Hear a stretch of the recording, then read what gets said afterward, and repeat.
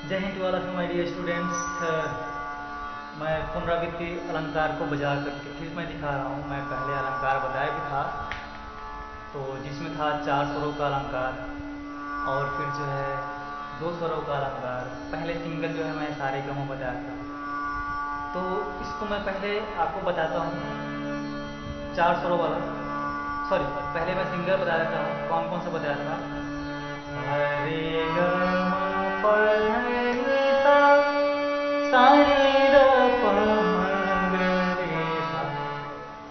ठीक है?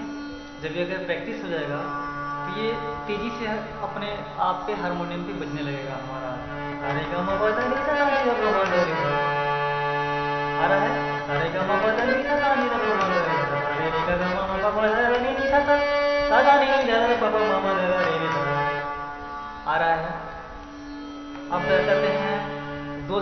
अलंकार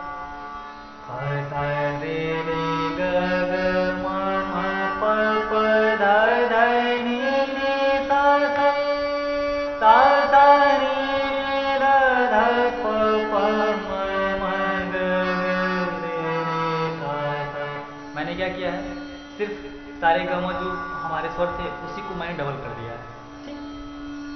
एक तरीका और अपनी उंगली तेज बढ़ाने के लिए आप लोग देखे होंगे कि ऐसे मतलब बहुत तेज बजा जाते हैं। उंगलियाँ तो उसको बजाने का तरीका ऐसा है देखिए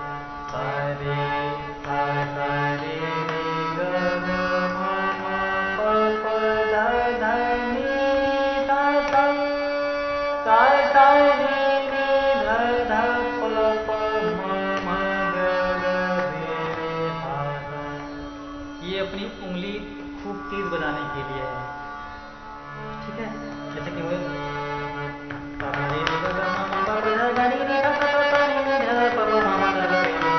अब देख रहे हैं, एक जो है की पे मैं डबल उंगली बीट कर रहा हूँ। ठीक है? अब हम आते हैं चार स्वरों के अलंकार जैसे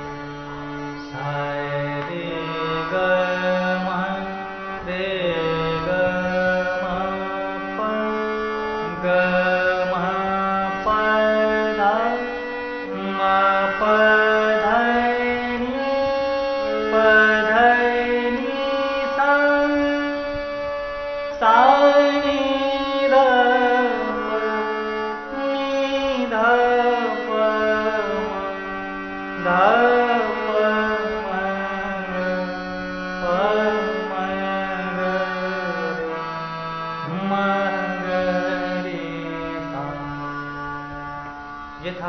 जब इसकी प्रैक्टिस हो जाएगी तो ये भी आपका बहुत तेज बनने लगा जैसे कि हरे ग म रे ग म ग म म म ध प म ग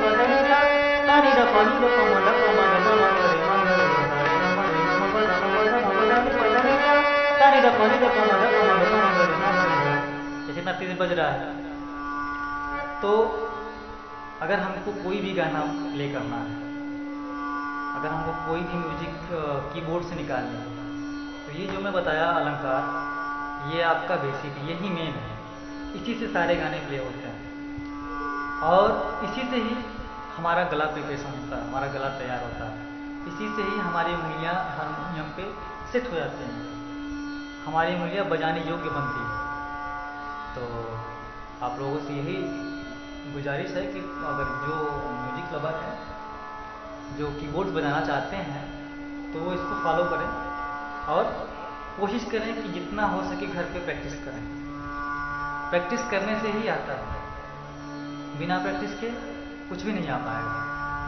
सिर्फ़ सोचने से नहीं आ पाएगा। और अगर कोई कहे कि नहीं, मैं आपको दो दिन में हारमोनियम बजाने सिखा दूँ, तीन महीने में सिखा दूँ तो ये गलत फहमियाँ है ये आपके दिमाग के ऊपर डिपेंड करता है। आपके मेमोरी के ऊपर डिपेंड करता है कि आप कितना जल्दी इसको कैच करते हैं, कितना जल्दी इसको पकड़ रहे हैं।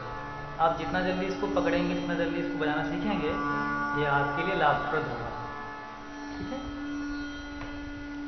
फिर से मैं बता देता हूँ चार स्वरों के अलंकार को। सा रे ग म क्या कर रहा हूँ उसमें? सा रे ग ठीक? अब मैंने सा को छोड़ दिया, रे को पकड़ा, फिर बाद में प को पकड़ लिया। रे, ग देख रहे हैं आप? मतलब हमको आगे से एक छोड़ना है, पीछे से एक को पकड़ना है। ठीक रे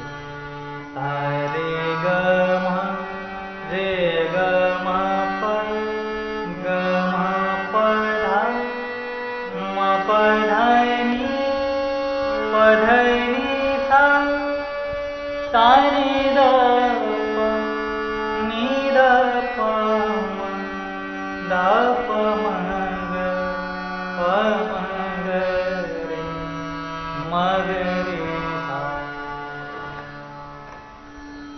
बस आज के लिए इतना ही और आप लोग घर पे ज़रूर इसका